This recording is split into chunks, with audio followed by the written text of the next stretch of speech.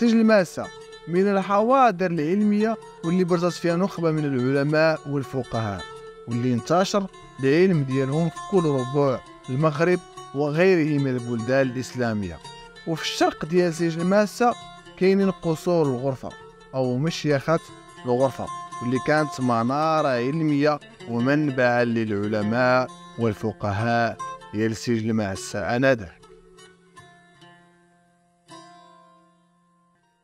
السلام عليكم ومرحبا بكم معايا اليوم في الجزء الثاني من الجولة اللي كنديروا حول قصور الغرفة. الجزء الأول هضرنا فيه على قصر ولاد بيدله قصر تاوغرت قصبات الحاج الهاشمي قصر تيغدوين. هضرنا على التاريخ ديالهم ومشينا شفناهم وشنا حتى الحاضر ديال هذوك القصر. رابط الحلقة غتلقاوه في صندوق الوصف. ما تنساوش راه ضروري خصكم تفرجوا الجزء الأول باش تفهموا بعض الأمور على قصور الغرفة عامة. الجولة ديال اليوم غتدينا ما بين حضان قصور تاريخية وكبيرة وعريقة في القصور ديال مشيخات الغرفة واللي تخرجوا منها علماء وفقهاء ومقاومين كبار. قبل ما نبداو الفيديو ما تنساوش ديروا أبوني اشتركوا معنا في القناة مبقالنا والو على عشرين ألف. أيضا ديروا جيم الفيديو خليو لنا تعليق زوين بحالكم وما تنساوش بارطاجيو الفيديو مع شي غرفة صاحبكم باش يتعرف على تاريخ قصور ديال بلادو يلا نبداو توكلوا على الله مرحبا بكم. قصر أمس سيتي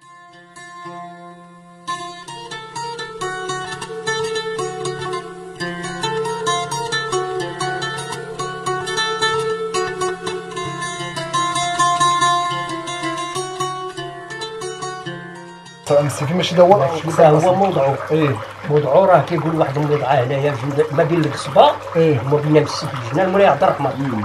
اسموني علي من زمان. قبل سمولي عليك إيه. جنا جنا مولاي عبد الرحمن. مولاي عبد الرحمن. هذاك تيقول لي غرمه قديم غرمه قديم هذاك هو القصر ديال السيتي هذاك هو القصر ديال مسجد إيه. بقى كيتكاثر فيه هنا خلق تيتكاثر تيتكاثر تيتكاثر حتى يبغيو يخرجوا الناس يخرجوا الناس. فين يبنيو منه ولا. إيه. كان عندهم واحد الفقيه إيه هذيك غرمه قديم هنا مسجد يطلق مازال بس ما جا مسجد أنت كتسمى غير غرمه قديم غرمه قديم هي قاعدوا مشاو للجديد هذا. يمشي؟ الجديد. الجديد القصر الجديد. القصر الجديد. خرجوا شوية دوار مشاو للجديد. مشى سكنوا الجديد. سكنوا الجديد. إيه داروا القصير بقى القصر تيكبر بقى تيكبر تيكبر إلى يومنا هذا. ديك الوقت داك داك الفقيه اللي كان عندهم هنا في غرمه قديم بشار جابوا الله الله الممات ومات تيسميه بسيدي يسوع هذا اللي راه مدخول الضريح اللي من هذه هي إيه حيت جابوا الله الممات جا هو الجديد هذا اللي بناو في سيدي الله العالم السيدي.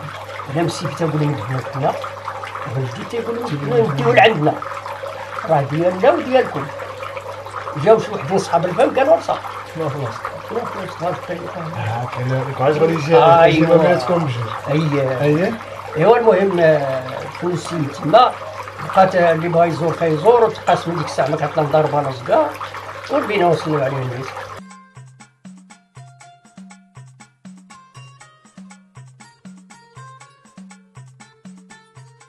كي تعتبر قصر أم سيفي العاصمة العلمية لقصور الغرفة واللي أعطتنا العديد من العلماء والفقهاء من بينهم محمد بن طيب التهامي محمد بن المبخوت وأيضا الشخصية اللي أي واحد في قصر ام سيفي دويتي مع العلماء والأولياء الصالحين تماك كيقول لك عبد العزيز المغراوي.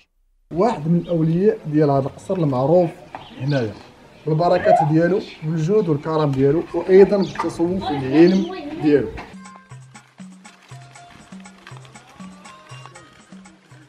دابا حنا كاين في المقبرة ديال أم سيدي. وصلنا للقبر سيدي عبد العزيز المغراوي اللي هو هذا كيف تشوفوا كاين عليه هاد الحائطين هنايا. زيد السي عبد الحكيم بسم الله. هذا هو القبر أو الضريح ديال سيدي عبد العزيز المغراوي وعطاوني معلومة بأن سيدي عبد العزيز المغراوي طويل. بحال باقي دابا من دار دار عندكم مازال؟ تقريبا. 80 دار 80 كان قال لي السي محمد 100 بحال هكاك. شكون 100 إيه. دابا دابا تكون 100 ولكن اللي ما اللي ما مسك- اللي ساكنة تكون 80 80 يعني قصبات مولاي علي قصبات العلويين أو الشرفاء في الغرفة. معنا السي بن إسماعيل. أخبارك كي داير لاباس عليك؟ واش مزيان؟ مني قبل اييه مني إسماعيل. بن إسماعيل. ابناء الحفيد ديال مولاي إسماعيل. هادو هما الشرفاء العلويين اللي كاينين هنايا في التلفزيونات هنايا في الغرفة. في الغرفة. أي هادو متابعين مولاي إسماعيل. وهذا هو القصر ديال ديال الحفيد ديال؟ الحفيد ديال مولاي سميتو مولاي مولاي علي. مولاي علي. أنا دابا وسط الدار ديال مولاي علي.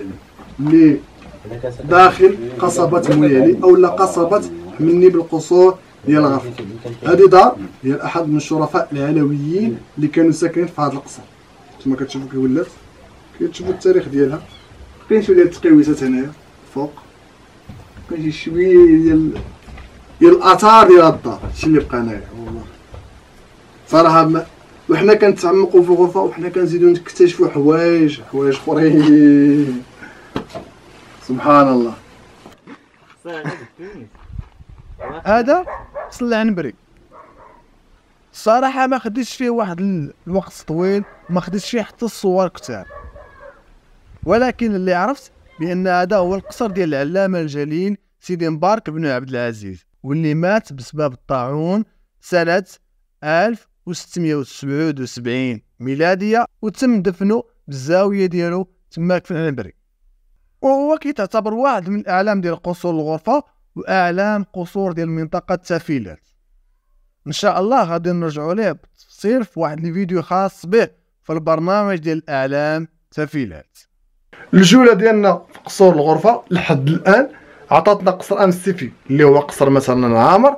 أيضا قصور اللي مهجورين بحال قصر تيغدوين وقصور اللي قلال فيهم الناس أو لا فيهم قل من عشرة ديال العوائل. واحد من المثال ديالهم هو هذا اللي رحنا فيه دابا واللي هو قصر ولاد عبد القادر. هذا القصر عائلات اللي فيه قلال بزاف. وفاش وصلنا لقصر ام سيفي لقينا بزاف حدا واحد القصور واحد تقريبا أربعة القصور ما هضرش عليهم بزاف. بحال مثلا كاين القصر اللي فيه دابا كاين قصر عبد القادر. أيضا كاين قصر بنيطي. كلهم هادو قصور قراب من أم سيفي بزاف. تقريبا المسافة ما بينهم وبين أم سيفي ما كاملاش حتى 100 متر. كاين فيهم اللي قريب بالام سيفي من المقبرة ديال أم سيفي.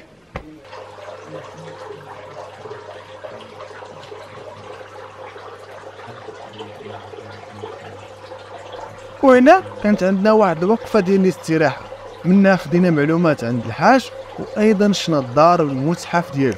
تبارك الله واحد المتحف اللي خصكم ضروري ديروا ليه واحد الزيارة. المتحف راه كاين بقصر أم السيفي. غير وصلوا لقصر أم السيفي وسول على دار الحاج بريكي. كلشي غادي يديكم حتى لتماك. واللي مشى يوصل ليه سلامنا. تبارك الله عليك الحاجة على الدار وهذا الشكل يصوب على الحاجة التقليديه اللي محتفظ بها غير إيوا راه محتفظ بها ولكن إيه. هذه محتفظ بها هنا باش تلقى أنت تسمعها. إيه. ويسمعوها الناس كلهم. على الأصالة وعلى الهمة ديال بنادم. ديال ديال بنادم. الهمة ديال بنادم. ديال بنادم. اش كيقول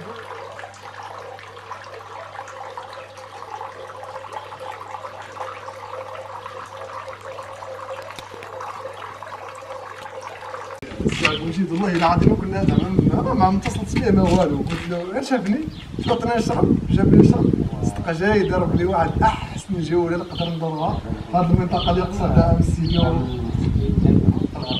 الله يجزيك بخير الله يحفظك صراحة أنا كان أما أنا صراحة أنا من الناس اللي كان على هذا. الجو ديال بحال هذا الكتب الله يحفظك. الله يفتح عليك ثقافتنا في البلاد و- التاريخ ديال بلادنا والتاريخ ديال بلادنا الله يرحم والدين سعد جيت دخلنا للدار وورانا الناس اللي خصهم يقولوا لنا دورنا القصور كاع اللي قرب لام سيفي. ولينا شكرا بزاف على هذه المساعدة والله يحفظك. شكرا. الله يلاقينا بسعاده الله الله يحفظك. الله يسلمك. الله يرحم والديك. معك الله يسهل هذه هي المطفية ديال القصور الغرفة. وهنا السي محمد كان تيشرح لي للأسف الصوت جا ضعيف بزاف لأن الكاميرا كانت بعيدة علينا والتليفون ما شد ليا والو. محمد كان تيقول لي هنايا بأن هذيك المطفيه كيلعبوا فيها الناس ديال الغرفة أو القصور ديال الغرفة كيديروا فيها واحد الدوريات مشتركة في المناسبات والاعياد أما زمان فكانت عبارة عن خزان ديال المياه. فاش كان تيجي الماء ديال الحمل أو لا كيجي الماء ديال السد كانوا كيعمروها وكيستغلوا المياه ديالها في الحياة ديالهم اليومية. على ما أعتقد أن كاع القصور ديال الغرفة كانوا كيستغلوا المياه ديال هذيك المطفيه مرحبا بكم في قصر جديد. أو ولا القصر اللي هو المركز ديال القصور الغرفة.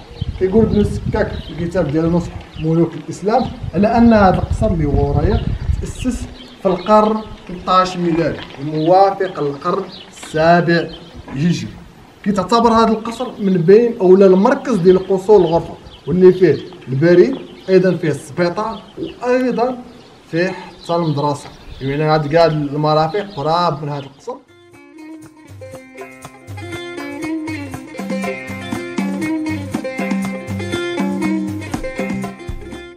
قصر جديد كانت فيه واحد الساكنة متنوعة من أجناس وأعراق مختلفة.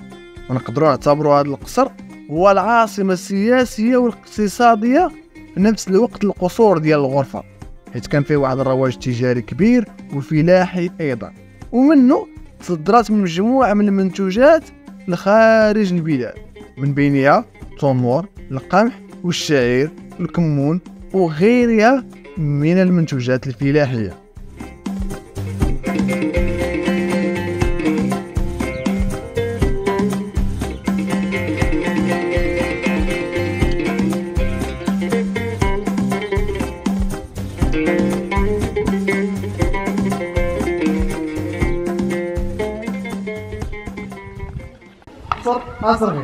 بين القصور ديال الغرفة ومن أكبر القصور في الغرفة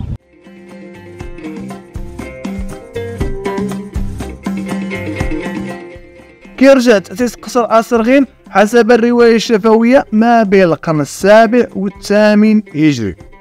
وتعرف القصر بتراثه الثقافي والديني حيث تخرج منه عدد كبير من حافظة القرآن الكريم وأيضا العلماء وفقهاء.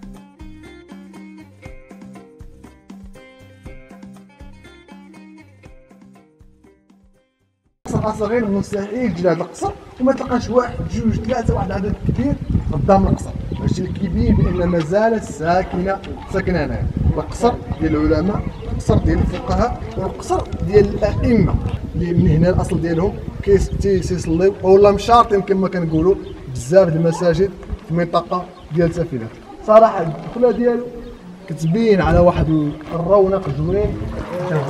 الله يرحمه ويمسيه الله يجزيك بخير. اسمح الله لي. يعاونك. الله يرحم والديك. الله يبارك الله يجزيك بخير. الله يبارك